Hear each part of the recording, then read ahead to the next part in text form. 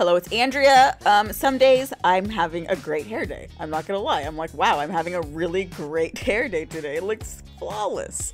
Other days it's not like that. My hair's a hot mess and I don't know what I'm doing with my life. Luckily, I've spent a lot of years trying to figure out how to get perfect hair. So in this video, I'm going to show you a bunch of awesome hacks that you could use to help you get perfect hair. And a lot of them I use myself.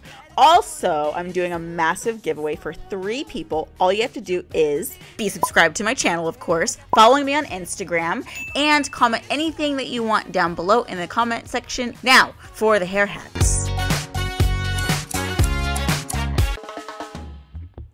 So do you ever like put your hair in a ponytail or a bun and you feel like your forehead just increased by like 40%? That happens to me all the time. Or sometimes I just feel like it looks large in general. I think a big forehead is pretty, but sometimes I want to shrink it down a bit. So I get some eyeshadow that matches the roots of my hair and I just go ahead and I lightly dust naturally around the hairline where it's a little bit thinner and this immediately gives you the illusion of a smaller forehead. I do it all the time. Major key.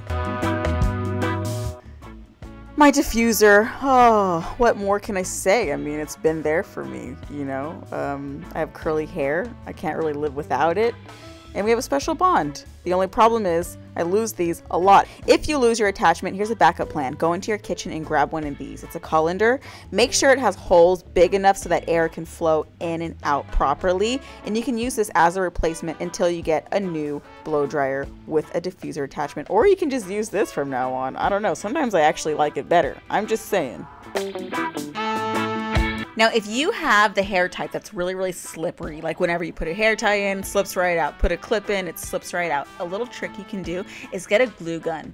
Take your clip and then go ahead and glue inside of the little claws just a little bit. What that's gonna do is give you some extra grip. This way, when you put the clip in your hair, it won't slip out. Sometimes my hair is just dull and flat, or my curls aren't curling up the right way, and I don't know why, but I realized why. It's because I have way too much product built up on my hair, like oils, heavy conditioners, serums, and it's just weighing my hair down. So, I need to wash my hair like once a week or once every other week with a clarifying shampoo, but if you don't have one, you can totally make your own with your current shampoo. Just get a big dollop of shampoo, put it in a bottle or something, and then you want to take like, I don't know, one fourth of a teaspoon or a full teaspoon if you want it really, really clean, and mix it in with your shampoo and wash your hair like you normally would. If you don't have baking soda, you can also use a little bit of vodka mixed in with your shampoo. Yes, I don't know why you would have vodka but not baking soda, but hey, that might be the case for some of us. And I don't know about you, but for me, this makes my hair instantly go back to bouncy sometimes I'm out and about. Here comes the weather. Well, guess what? My hair versus the weather, my hair always loses. But what I like to do is like to keep some clear eyebrow gel in my purse because not only can you use it for your brows, of course, but you can also use it to like tame the flyaways, smooth your hair down, the parts that kind of come undone throughout the day. And this works so good. It's like carrying around a can of hairspray and a comb, except for it's not. It's just a little baby tube that fits in your purse. Now, if you have curly hair, you probably experienced sometimes a curl just dies on you, a curl casualty. You might want to cut it.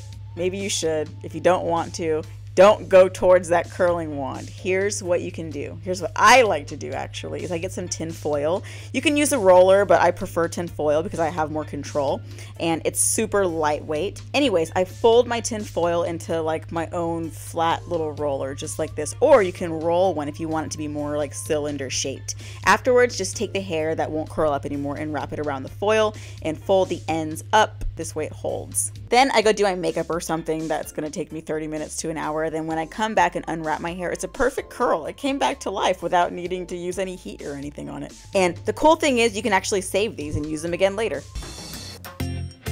Here's a trick that I think is so cool for some reason. Okay, if you are really bad at braiding, like just not coordinated at all, or if you're just looking for a new way to braid, a really easy thing that you can do is take your hair and split it into two pieces. Afterwards, with one piece, you want to stick your fingers in and create a little loop opening. And with your fingers, you want to grab the second chunk of hair and pull it through the loop. Okay, and then you want to continue doing that all the way down until you get to the very end of your hair and you have this really cool braid. I mean, it looks almost like, you know, your standard braid, just slightly different and really, really pretty. I love this. Another trick that I do for a lot of volume, because I'm a sucker for volume, I can't help it.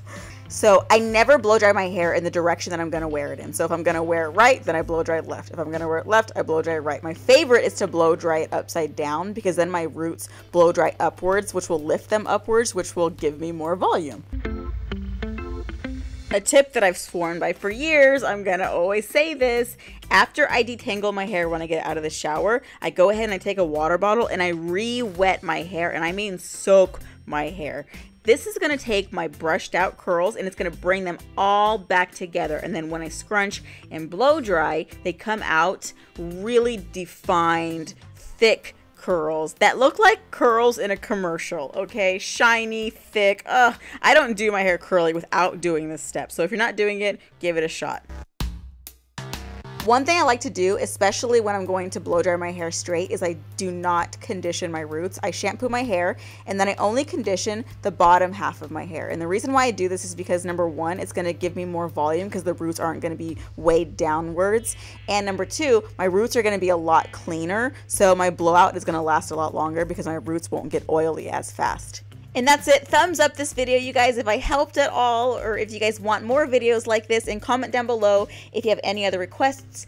And I will see you guys very soon. I love you so, so, so, so, so, so, so much. Bye.